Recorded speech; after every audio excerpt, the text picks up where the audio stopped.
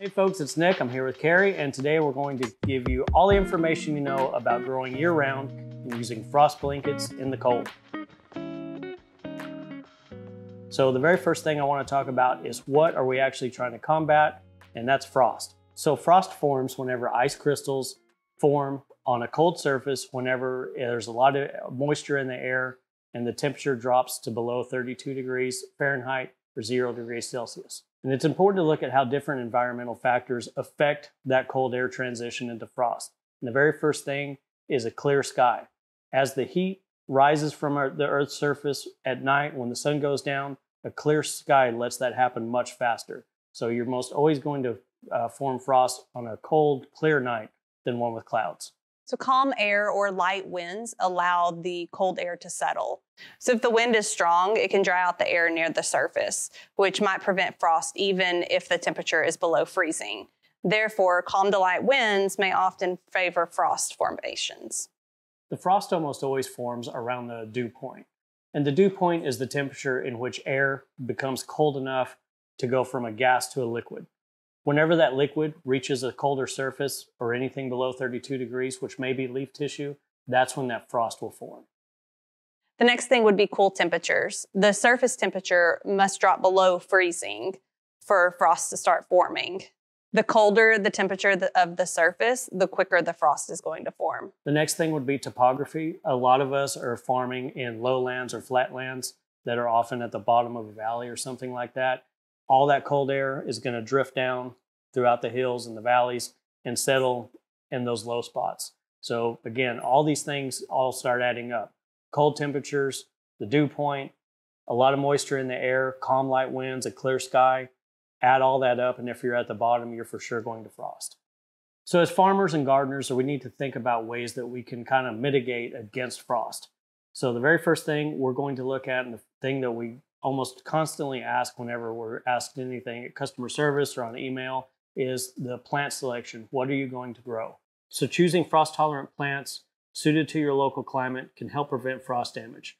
Knowing local growing conditions and why forming a relationship with a seed company and the reps servicing your area is valuable. Those reps might know about a slight crop selection variety adjustment that can mean the difference between a crop failure and crop loss during a frost. So the next thing you can do is why we're here on this video is to use frost blankets. Now we're going to cover it in such depth here in a minute that I'm just going to kind of gloss over it now and go to the next thing, which is watering before a frost. It may sound counterintuitive, but watering before a frost helps to insulate the plants against the cold weather, wind, the settling, and kind of insulates the root zone and everything else. Uh, you'll see this a lot in orchards where uh, citrus is involved. So if it works for them, it's for sure going to work for you in your cold tolerant plants. The next thing we can look at is mulching the base of the plants or the rows of the plants to add that uh, mass and a thermal layer in addition to frost blanket, in addition to everything else we're going to talk about today to protect those root balls. The next thing is placement of plants. Now for farmers, we may be stuck with, hey, look, we're out in the field, but uh, if we're doing herbs or cut flowers or we're uh, working around an urban homestead, we can take a look at can we plant something closer to a building? Can we plant a hedgerow or a windbreak or anything in that manner to kind of further give yourself a little distance between you and the frost?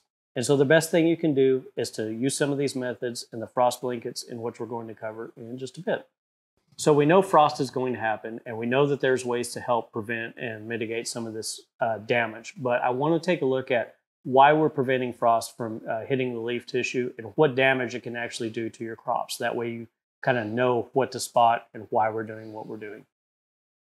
So the first thing that we'll discuss is actual damage to the leaf tissue. When frost forms on the plants, it causes the water inside of the plant to freeze. And when that water freezes, it expands the cell tissues and causes them to rupture. Once the ice thaws, the cells cannot regain their original shape which leads to wilting and browning affecting the tissues of the plants. But in the pictures you can see, this, this is the very first thing that you notice, a, a black leaf, a brown leaf, and you know it's just not coming back. So what this can mean is some plants, especially if they're cold hardy, they can bounce back from it.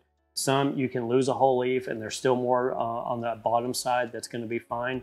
But for most of these plants, a lot of it's going to be damaged in that you're not taking as many leaves to uh, harvest you're not taking as much fruit to the market. And so you're damaging the amount of sellable product that you can have.